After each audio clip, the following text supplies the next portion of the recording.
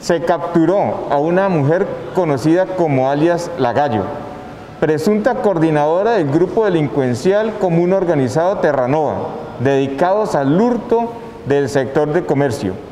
Esta mujer sería la encargada de coordinar, direccionar y determinar los roles de los demás integrantes del grupo delincuencial para efectuar los hurtos, especialmente en almacenes de cadena y de grandes superficies de, reconocido renombre, utilizando la modalidad del cosquilleo y el mecheo.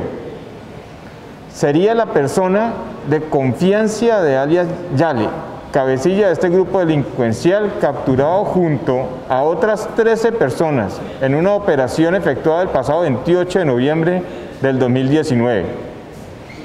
Es de anotar que esta mujer, alias Gallo, reposan varias sentencias condenatorias por hurto, calificado y agravado.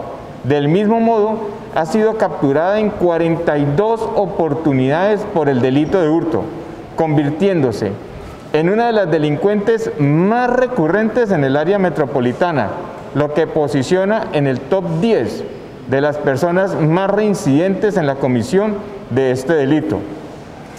Su captura se produjo en el sector de industriales de Medellín, momento en que se disponía a efectuar otro hecho de hurto en un almacén de cadena en dicha zona.